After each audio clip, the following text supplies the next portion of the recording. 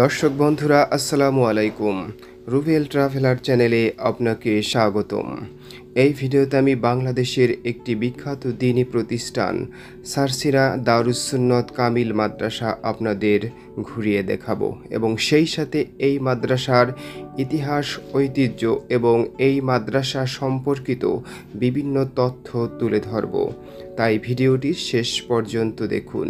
সেই সাথে আপনি যদি আমার চ্যানেলে নূতন হয়ে থাকেন, তাহলে চ্যানেলটি এখনই সাবস্ক্রাইব করে নিন। পরবর্তী ভিডিওর আপডেট পেতে বেল বাটনে ক্লিক করুন। তাহলে আসুন বন্ধুরা, ঘুরে দেখা যাক সারসিনা দারুসন্নত কামিল মাদ্রাসা। দেখতে পাচ্ছেন মাদ্রাসায় প্রবেশের রাস্তা দেখতে পাচ্ছেন, আমরা এখন মাদ্রাসার ভিতরে প্রবেশ করতেছি। সারসিনা দারুসন্নত কামিল মাদ্রাসা বাংলাদেশের বরিশাল বিভাগের পিরোজপুর জেলার নেসারাবাদ উপজেলায় সারসিনা গ্রামে অবস্থিত একটি বিখ্যাত আলিয়া মাদ্রাসা। উনিশশো পনেরো সালে বিখ্যাত পীর নেসারুদ্দিন আহম্মদ এই মাদ্রাসাটি প্রতিষ্ঠা করেন। এটি বাংলাদেশের প্রথম স্বীকৃত টাইটেল বা কামিল মাদ্রাসা। এই মাদ্রাসা ফলাফলের দিক থেকে সর্বদাই দেশের শীর্ষ স্থান দখল করে থাকে। এই মাদ্রাসা নীতি, নৈতিকতা ও আকিদা বিষয়ের উপর জোর দেওয়ার জন্য সারা দেশে বিখ্যাত। দেখতে পাচ্ছেন মাদ্রাসার ভেতরের সুন্দর সুসজ্জিত ভবনগুলো এবং খুব অত্যাধুনিক মানের এই মাদ্রাসাটি এবং ভবনগুলো খুব নান্দনিক দৃষ্টিনন্দন।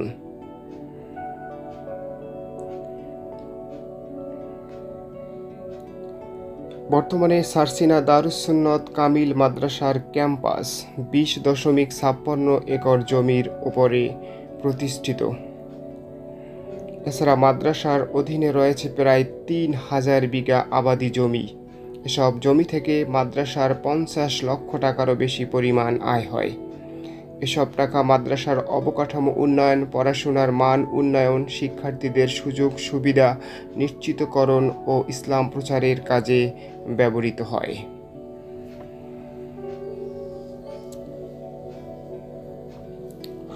সুপ্রাচীন এই মাদ্রাসার শিক্ষা ব্যবস্থা খুব আধুনিক এবং পড়াশোনার মানও খুব ভালো। বরাবর ওই মাদ্রাসাকে দেশের মধ্যে শীর্ষস্থানীয় ফলাফল করতে দেখা যায়। এই মাদ্রাসা হতে এ যাবৎ তিনশোরও অধিক শিক্ষার্থী বোর্ড স্ট্যান্ড করেছে। মাদ্রাসাটিতে দাখিল শ্রেণি পর্যন্ত বিজ্ঞান শাখা চালু আছে, আলিম শ্রেণীতে শুধু মানবিক শাখা চালু রয়েছে, কামিল শ্রেণীতে হাদিস, তাফসির ও ফিকাহ বিভাগ চালু রয়েছে। দেখতে পাচ্ছেন মাদ্রাসার নান্দনিক ভবনগুলো। খুব সুন্দর।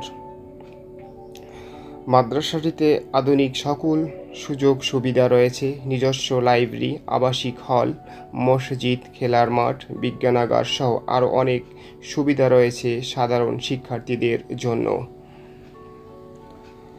মাদ্রাসার আবাসিক হলে ছাত্রদের পড়াশোনা ও সার্বিক তত্ত্বাবধানের জন্য শিক্ষক নিয়োগ করা হয়েছে। তারা ছাত্রদের সাহায্য ও পরিচর্যা করে থাকে।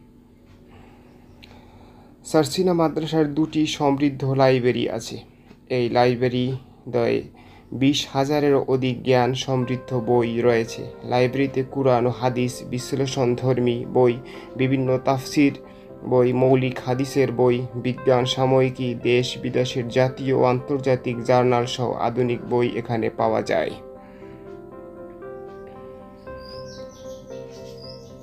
মাদ্রাসার একটি নিজস্ব প্রকাশনা আছে। যেখান থেকে নিজস্ব বিভিন্ন বই প্রকাশিত হয়, ছাত্র শিক্ষকদের লেখা বইসমূহ এখান থেকে ছাপানো হয়ে থাকে। এছাড়াও বিভিন্ন বই ছাপানো হয়ে থাকে।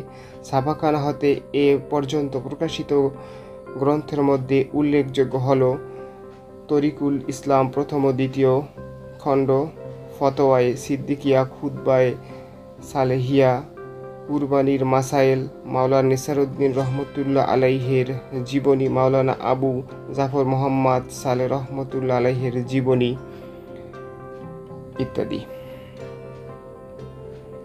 শিক্ষার্থীদের আবাসনের জন্য রয়েছে ষাটটি ছাত্রাবাস। মাদ্রাসার আয়ের ফান্ড থেকে ষাটটি ছাত্রাবাসে তিন হাজারের অধিক ছাত্রের বিনামূল্যে থাকা ও খাওয়ার ব্যবস্থা রয়েছে। এসব ছাত্রাবাসে আধুনিক সকল সুযোগ সুবিধা রয়েছে। এবার দেখতে পাচ্ছেন সারসিনায় নবনির্মিত মিনার। এই মিনারটি হবে বাংলাদেশের সবচেয়ে উঁচু মিনার। আমার জানা মতে এটি উঁচু হবে তিনশো পঁয়ত্রিশ ফিট।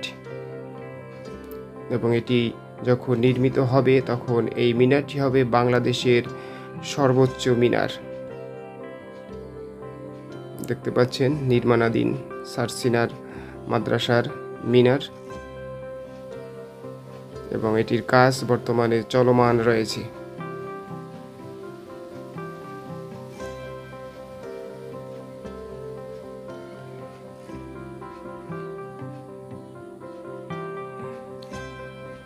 বর্তমানে মাদ্রাসার ছাত্র সংখ্যা তিন হাজারেরও অধিক মাদ্রাসায় শিক্ষক সংখ্যা একশো পঞ্চাশ জন এবং কর্মচারীর সংখ্যা পঞ্চাশ জন।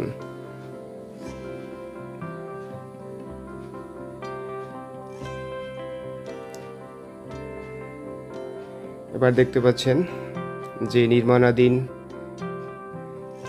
ছয়তলা সুদৃশ্য মসজিদ, এটিও কাজ চলমান রয়েছে। এবং এদিক থেকে মাদ্রাসার ক্যাম্পাস আপনাদের দেখাচ্ছি।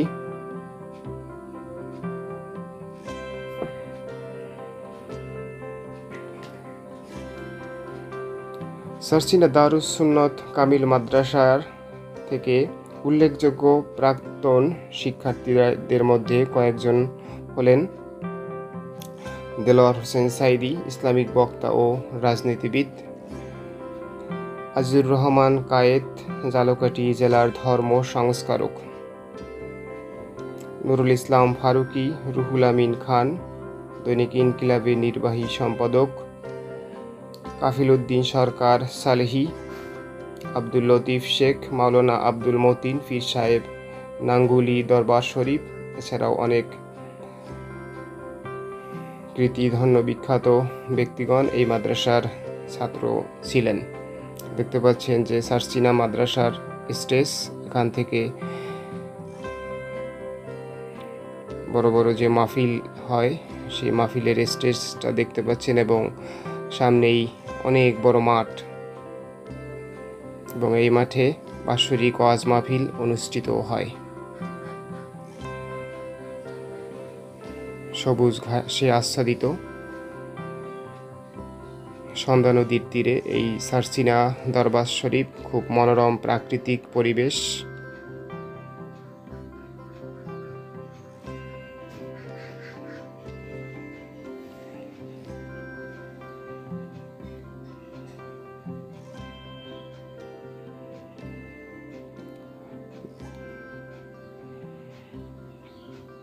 এবং সাসিনা দারুসুন্নত কামিল মাদ্রাসায় অনেকগুলো এই ক্যাম্পাসের ভিতরে ঘোড়া রয়েছে। ঘোড়াগুলো সবসময় উন্মুক্ত থাকে ক্যাম্পাসের ভিতরে বিচরণ করে।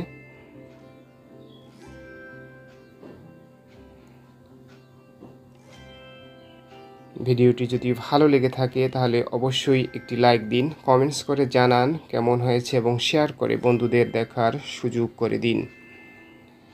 এরকম আরও ভ্রমণ বিষয়ক ভিডিও পেতে আমার চ্যানেলটি সাবস্ক্রাইব করে সাথেই থাকুন।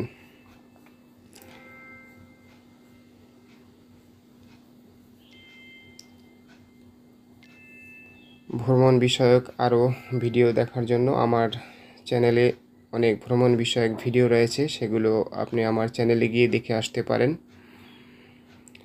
ভিডিওটি এতক্ষণ দেখার জন্য আপনাকে অসংখ্য ধন্যবাদ জানিয়ে আজকের মতো বিদায় নিচ্ছি।